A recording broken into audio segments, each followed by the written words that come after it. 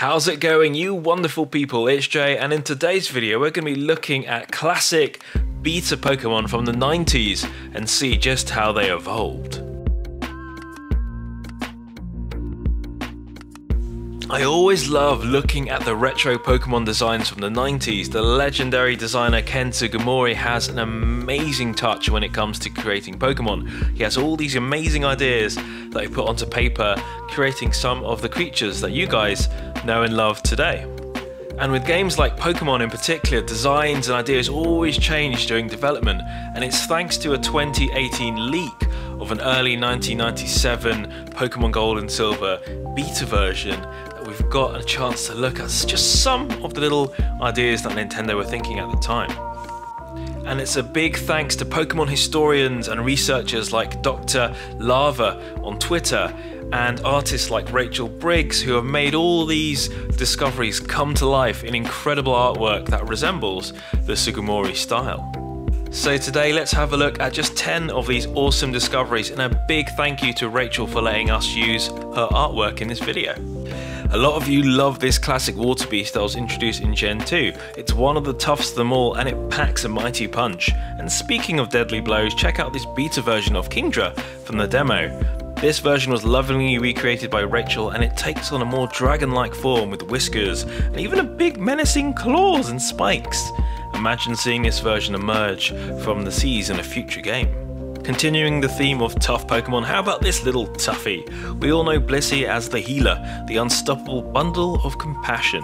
This chirpy little egg looked a bit different in the 1997 demo. Rachel's Sugimori inspired art is based on the demo sprite and paints a double egg wielder, and according to Dr. Lava on Twitter, was originally named Happy. The little heart on its head looks a bit like a nurse's hat, or maybe a um uh, a butt. Next up on our list is a beast that looks like it's straight out of the Spidey cartoon from the 90s. It's more of a scorpion styled original Gligar design. This beta sprite originally took on a slightly scarier look, and as someone who's very afraid of spiders and scorpions, just looking at this piece of art by RacieBeep freaks me out. This version of Gligar looks a bit like the more menacing cousin of an adorable scamp that we got in the final build.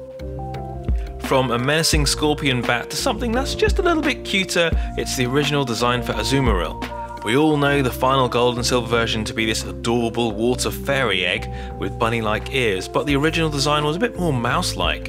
Pikachu's distant cousin maybe, with two little tails and the most adorable little face. How cute does he look in this recreation art?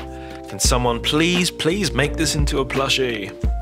From cute to mysterious, this next Pokemon is a beta version of the mythical Celebi. The now iconic leaf-like form is totally how we associate this Pokemon, but did you know this critter took on a far different form originally? Dr. Lava notes how it was classified as a simple plant Pokemon rather than the time traveler we all know and love. Let's use Celebi's time traveling powers to go back even further. Back before Pokemon conquered the world, back to when the legendary Ken Sugimori was pending design for capsule monsters. We know Ivysaur was the tough secondary evolution, the sassy teenager, but before the sudden Ivysaur won hearts in the 90s, it took on a more sluggish form. Maybe a hungover version. This floral dinosaur has a few weeds here and there. The Gen 1 beta designs continue with a look at Tentacool, and did you know that this beta version had a few more tentacles and was far more menacing in its early design? This reworking of the 90s early sprite by Rachel is totally something that you would see in a 90s alien movie, it's so slimy. From cruel sea creatures to something a little bit more wholesome, it's the original design for this adorable pink bundle of joy.